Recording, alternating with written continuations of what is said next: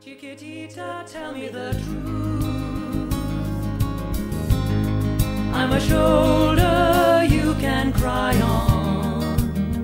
Perché avevo fatto un diploma di lingue in Ah. Svizzera, non sono riuscita a fare. Venezia è stata liberata il 28 aprile, noi siamo rientrati in agosto dalla Svizzera, non c'erano mezzi. Ho cominciato anche a fare delle esperienze, a insegnare, eccetera. Mi sono iscritta a Ca' Foscari, ma ero già gra- tardiva l'iscrizione.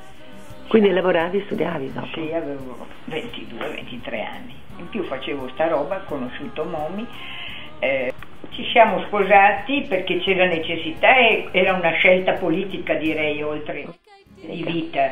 Perché avevamo teorizzato che era giusto abitare dentro il convitto, perché i ragazzi avessero un'idea di, che cos'è la famiglia, di com'è la coppia. hai capito? Addirittura così radicali, vi siete Eh, messi sì. a abitare là dentro? Abbiamo scritto un libro su sta roba. Sì. E, mm, Dunque questa è l'esperienza forte che hai È fatto. forte, questa è, Ah. è molto forte. Quanto sei stata là? Gli ultimi tre anni, diciamo, vi- di vita del convitto, invece Momi ne ha fatto sette anni. E sono stati chiamati in federazione dal segretario di federazione, che allora era Lizzero, Mario Lizzero. Ah, sì. Partigiano, no? Cioè, uno faceva architettura, già, eh, Sì, Gianni sì, Gramola, Giovanni. e Momi era Ca' Foscari, eh, che faceva inglese lui. E Li chiamano, li chiamano in federazione e perché qui al Biancotto erano allo sbando, erano rimasti da soli i ragazzi Mm. che erano andati via, eh, era stato iniziato da partigiani bravi poeti ma un po' non preparati, hai capito, un gruppo di partigiani di mira e detto facciamo un collegio per orfani di partiti, capito? Questo è stato l'inizio. L'Isero chiama Ecco. eh, questi della cellula universitaria comunista, si era FIGC, Federazione Giovanile, finché eri universitario, anche se avevi fuori corso 27 anni, eri sempre FIGC. Li chiama e dice, chi è il più bravo di voi due? Silenzio. Cioè, fa Momi, se lui è segretario di, di sezione e io vice, sarà più bravo lui. Vabbè, dice, tu sei preside e tu direttore didattico, promossi sul campo. Ivano sa neanche cosa che sia il biancotto. Avevano mai fatto esperienze del genere, Ah. capito? E allora, eh, riunitisi in, in sezione universitaria, si è deciso che avremmo dato tutti una mano, insomma, perché se no... E allora qualcuno entrò proprio come educatore, qualcuno di questi studenti che stavano per laurearsi, eccetera, come educatore, quindi pagati, e qualcuna di noi era andata a fare una specie di volontariato. insomma. E tu insegnavi lingue? Eh, io insegnavo Italiano, anche ai piccoli, Ah. o se no lingue, facevo francese con loro. Ecco, e la mattina però facevo scuola fuori e lì ho conosciuto meglio il Momi, lo conoscevo già in sezione, però è così. E allora a Ca' Foscari, eh, sposandomi, è cominciato a nascere Pierangelo, poi il lavoro del convitto ti prendeva 24 ore su 24. Noi non chiudevamo mai la porta della nostra camera, lasciavamo aperta, i ragazzi potevano venire a parlare quando avevano bisogno, cioè, avevamo una specie di salottino prima di entrare in sta camera e spessissimo ne trovavo seduto uno lì che mi aspettava perché voleva parlare, hai capito? Era molto intenso come lavoro, poi studiavamo, facevamo, eh, ci aggiornavamo, mi sono studiato tutto il Maccarienco, poi Gramsci, gli intellettuali, alla sera da roba da stuzzicadenti per star svegli perché dopo aver lavorato tutto il giorno, hai capito? studiavamo come i matti così e quindi vedevo che davo un esame all'anno, eh, paghi le tasse col bambino, ho smesso dopo il secondo magistero. E così non, non ho finito Ca' Foscari anche perché mi piaceva così tanto insegnare ai piccoli che ho detto chi me lo fa fare. E sono entrata nelle scuole speciali, ho fatto il concorso, quindi io non sono mai andata in campagna, sono sempre stata in città, in comune. Ma cos'è che mi fotografi? Sul piccolo, più provinciale. Lì Milano sei sul grande, contatti con la umanitaria, con l'università, con personaggi, anche perché a Milano più che piccoli c'erano personaggi grandi, gente che aveva perso anni di scuola facendo il partigiano e recuperava quindi gli anni di scuola erano adulti e c'erano i corsi serali Quindi c'era tutta una specie di scuola laterale alla scuola ufficiale che era di sostegno ai partigiani. Sì, Era tutto Milano nell'ambito del- dei comunisti, insomma, più della zona più partigiani, ampi, più più ampi, ampi. insomma. Eh, sì, a Milano aveva più questa caratteristica. La scuola media, la scuola, il liceo scientifico parificati, mentre noi a Venezia avevamo proprio teorizzato che i ragazzi dovevano andare tutti alla scuola Fuori, pubblica. fuori. Mm. È stata un'esperienza formidabile. Dopo sei tornata. Siamo sei tornati dopo un anno scolastico perché qui a Venezia Gramola era andato via. Mm. E allora ci hanno richiamato a Venezia e siamo tornati. Però è stato un po' sposato da Venezia, nel senso che tutta Venezia ha Partecipava. accolto, ha accolto questa iniziativa. Anche i democristiani, che allora c'era Favaretto Fisca, E c'erano tanti orfani. eh, ne avevamo sempre una sessantina, Ah, sessanta. Dovevi mantenerli, dovevi vestirli, dovevi... Era... Ed erano finanziati da qualche ente? Eh, no? Purtroppo mh, era difficile avere anche i contributi come orfani di guerra, perché sai, con- nel contempo Venezia sì li aveva come potrei accolti, però eh, a livello nazionale era molto boicottato come convitto, Mm. che allora era ancora di moda i conviti dei preti, i collegi tradizionali, hai capito? Questo era visto un po' come collegio governato dai rossi. E dopo, Però hanno dato lo sfratto. e dopo abbiamo avuto un ulteriore sfratto, che non era il primo, avevamo già trovato la possibilità di spostarci o qui dove c'è l'ostello, alla Giudecca, Sì, o in campo San Giacomo d'Alorio, la Vida, dove Sì. adesso c'è un centro. Avevamo già trovato 10 milioni, allora costava 30 milioni qua, che era una grande cifra per carità a quel tempo. 10 milioni era tutto il personale, rinunciava alla liquidazione, tutto, i segnanti, la cuoca, la guardarobiera, tutti brave persone, compagni o quasi, insomma. eh. 10 milioni ce li prestava l'avvocato Schullam, a- ce li prestava a fondo per- perduto, non con interessi, ce li Sì, sì, prestava, li prestava senza interessi. perché all'estate facevamo turismo popolare scolastico, Ah. siamo stati i primi. Ah. All'estate i ragazzi più grandi a turno facevano i camerieri, li vedrai nelle foto. Ah. E facevano i camerieri, aiutavano, porta- facevano le guide e venivano scuole o, o gruppi democratici, venivano a dormire Ah, all'estate, i ragazzi andavano a casa quasi tutti, a tutti insomma. Capito, quindi sfruttavate la situazione a I più Venezia. grandi a turno facevano 15 Per accogliere. giorni delle loro vacanze e davano una mano Quindi per, per raccogliere contributi, per avere per, fondi. compra- per avere la possibilità di vivere, perché sai, era una spesa spaventosa. Voi eravate... Guai se non avevamo la solidarietà operaia, questo è il punto della solidarietà. Ogni, lo leggerai, operaio di Porto Marghera dava dei soldi. rinunciava, per esempio la- m- la- l'Italsider, rinunciavano a Montedison il loro pasto del sabato, gli operai, e lo dava- davano vi- i viveri al Biancotto. Alla Ah. Vetrococ ogni operaio aveva diritto di un tot di carbone, allora ci si riscaldava ancora a carbone Certo. nelle case, non c'era come adesso. Del loro tot di carbone davano ogni operaio 15 kg per il biancotto, noi ci scaldavamo tutto l'inverno con il carbone della Vetrococ. Tutti Quindi non avevate finanziamenti diversi, solo auto- autofinanziamenti? Sì, braccianti del Ferrarese, Cioè lo Stato non vi dava niente? le anguille di Comacchio, Ah, ah, gli ortolani di Rialto.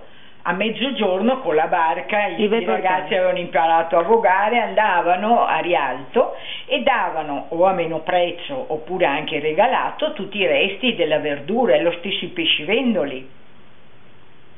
Avevamo un macellaio che era un compagno che ti dirò adesso dove aveva bottega, che avanzava a skate da una vita, insomma, hai capito? E dopo chi preparava le- tutte queste cose? C'erano le cuoche? cuoca, brava, eh, eh, La Gian? si chiamava, adesso te lo dico, adesso mi fatto su. Ma quanto tempo sei stata? Due anni di Quasi più? due anni abbondanti, ho avuto il bambino, eh, quando sono andata a Milano Questa è stata una delle esperienze più belle che tu hai fatto. Ah, Eh, formidabile. era una cosa eroica proprio. era una cosa eroica, Sì. te ne accorgi leggendo qua. Come si chiama? Lisetta si chiamava, Lisetta. eh, aveva una- le gambe storte, camminava così, no? Proprio un personaggio. Era un numero, bravissima. Ecco. E allora eh, sono andata nelle scuole speciali e ho avuto...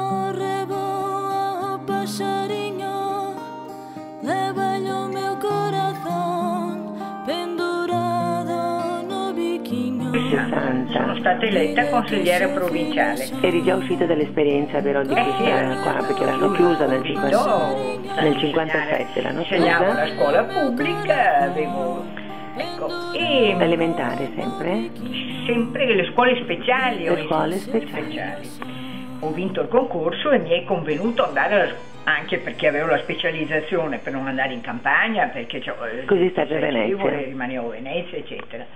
E, e così sono stata scelta, diciamo, Dal partito. in questa prima esperienza sono stata scelta per la mia competenza, diciamo, per la mia attività didattica più, ah, oltre che politica, perché mi davo da fare, facevo parte del comitato federale, avevo questa storia di federazione giovanile comunista che si era rimasta fino per- fino a che sono stata universitaria ero federazione giovanile comunista, quindi ero nel federale, ecco quella foto con Berlinguer, eh, perché lui aveva partecipato Ah, a una nostra riunione a convegno. Venezia, hai capito? Lui era responsabile Dei giovani dei giovani nazionali. Da 15 anni facendo gli ultimi 5 anni la capogruppo e avevo, c'era solo la Gigetta che aveva cominciato a entrare, se no erano tutti uomini, compagni, e devo dire che ho fatto la capogruppo, insomma. Poi nel, nel- ho cominciato a cambiare il vento e si vedeva già che avremmo vinto sia la provincia che il comune, perché c'era tutto un clima, eh, i movimenti femminili e femministi, io ehm, ovviamente cominciavo anch'io a prendere attività, tutte esse, col fatto poi che ero capogruppo in provincia, mi avvicinavano, ci facevano riunioni, era già molto vivace di- Mi diciamo ricordo. e mi hanno fatto questa proposta al, al, partito. Dice, eh, mi hanno chiesto se rimani in provincia potresti essere la prima presidente della provincia d'Italia. Io ho detto basta, di provincia non ne posso più, ero stata 15 anni. E allora mi hanno detto, allora, allora ti mettiamo in comune, insomma.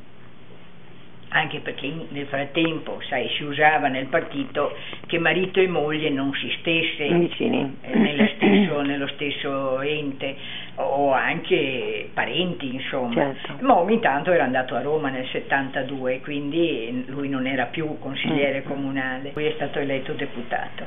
E allora sono stata eletta in comune e mi hanno indicato a fare l'assessore allora io volevo fare la pubblica istruzione ma ormai i socialisti la volevano loro Mm. assolutamente non era possibile e la faceva Nerio Laroni allora, socialista. E allora, eh, sai com'è, alle donne danno... Sanità. Ecco, e però mi interessava anche fare la sicurezza sociale, Mm. devo dire, perché su tutte queste spinte eh, femministe che C'erano anche tante cose da fare a livello di servizi tante cose sociali, da fare perché mi sì. sollecitava, già si cominciava a Mm, parlare, c'era il divorzio, il c'era appena stato, io avevo fatto una grossa battaglia eh, andando a fare riunioni sul Mm. per il divorzio, eccetera. Cominciava a venire avanti la 194, Mm. cioè eh, il fatto che sì, come avevo fatto la battaglia in provincia con Basaglia per eliminare gli ospedali psichiatrici, eh, in comune io mi sentivo molto spinta di più che a livello provinciale, hai capito, stare in comune. Per tutte queste sollecitazioni che avevo io dentro, oltre che aver- vederle nelle donne per sentirla e per, diciamo, appoggiare quello che mi veniva richiesto, ecco.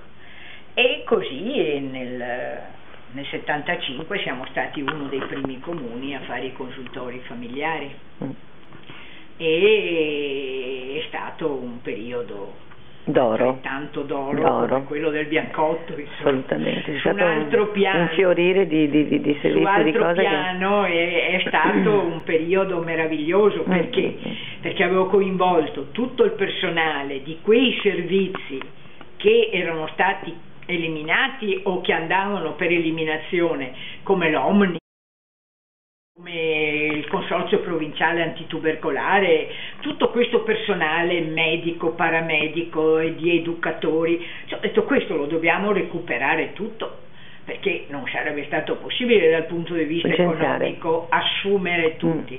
E allora abbiamo fatto un primo convegno, che se lo ricordano ancora gli operatori, perché anche con loro sono rimasta molto legata, molto molto legata, se lo ricordano ancora, abbiamo fatto il primo convegno con tutto questo personale, le ostetriche condotte per esempio, che erano anche avveciotte, però erano piene di entusiasmo anche loro, oltre che di esperienza naturalmente. Dove avete deciso? E abbiamo deciso che avremmo dato vita ai consultori.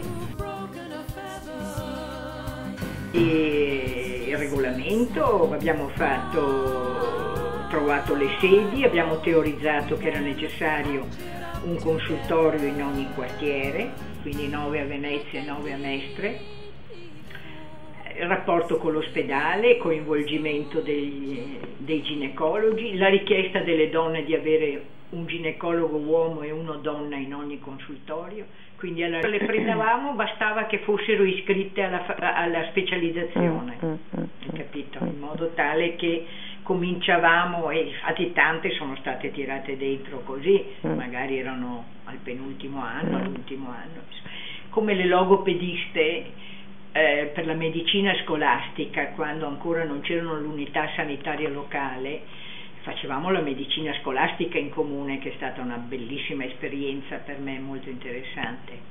E le logopediste non si trovavano, bisognava che noi ci rivolgessimo all'università dal professor Scocco, che era molto bravo, e ci desse le- le- quelle che stavano finendo, insomma. Aspetta perché questa è divertente. Io assessore alla sicurezza sociale, che si chiamava Sanità e Sicurezza Sociale, nel 79 viene fuori la riforma sanitaria e ciò. E più che te non puoi far che tu il, presidente dell'unità sanitaria locale. Ah, Ma compagni, faccio già l'assessore. E appunto, non ti dico cos'è stato l'inizio dell'impianto dell'unità sanitaria, sociosanitaria, dappertutto credo che sia stato così, cominciare a baruffare con, mutu- con gli enti mutualistici. Tutte le sedi non volevano mollare l'INAL, non volevano mollare una sede neanche a morire dove metteva poi nove ospedali, un ospedale centrismo, eh, fai l'organico. E allora per fare gli organici cosa guardi? L'anzianità, i titoli di studio, le pubblicazioni, no?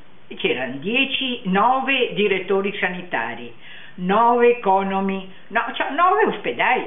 E, e capisci, fai le graduatorie, tu baruffe con i sindacati, guarda, stato, sono stati i primi mesi della follia c'era uno del comitato di gestione che andava, era Prandi, poveretto, che andava a Roma, è morto, andava a Roma a baruffare con sti enti mutualistici perché ci dessero le sedi. Ah, abbiamo gli archivi da mettere a posto, non si va. Chiusi gli ospedali psichiatrici, allora cosa veniva fuori? Che gli ospedali psichiatrici dipendenti dipendevano dalla provincia, poi c'erano quelli che dipendevano dall'ospedale e quelli dei servizi territoriali che de- dipendevano dal comune. Allora, quelli del- delle- degli ospedali psichiatrici avevano l'indennità isola perché avevano il viaggio da pagarsi, allora hanno cominciato a volere l'indennità isola anche quelli dell'ospedale al mare. Dico delle baruffe, De- de- delle robe Insieme proprio.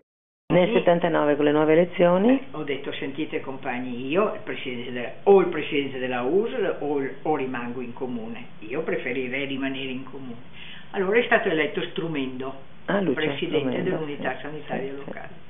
E io sempre stato, perché il partito fa fatica a valorizzarti, e io ricorderò sempre in un federale che strumento si è alzato e ha detto la LIA è stata eroica, ho trovato tanti problemi, ma tutto impiantato. La LIA è stata eroica, ricordatevelo. Chiquitita, tell me the truth. I'm a shoulder you can cry on.